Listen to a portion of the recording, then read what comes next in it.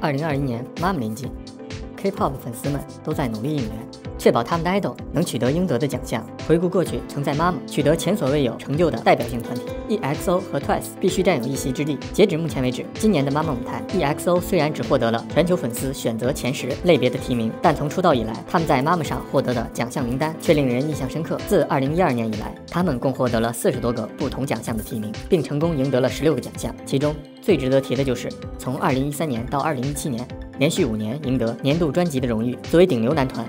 EXO 的成就是其他人无法企及的。尽管他们近年来更加专注于个人事业，但作为一个团体，他们仍然有很多值得骄傲的地方。TWICE 在妈妈的历史上也创造了与 EXO 相似的记录。自2015年出道以来，他们也获得了四十多次颁奖典礼的提名，并成功拿下了十六次奖项。2016年，TWICE 凭借 Cheer Up 首次获奖。2017年的 Signal，2018 年的 What Is Love。从2016年到2018年，他们连续三年拿下年度歌曲的荣誉。这份荣誉是 TWICE 与其他女团的最大不同，也是其他女艺人根本。无法实现的成就。作为顶流韩团，EXO 和 TWICE 都有很多值得骄傲的地方。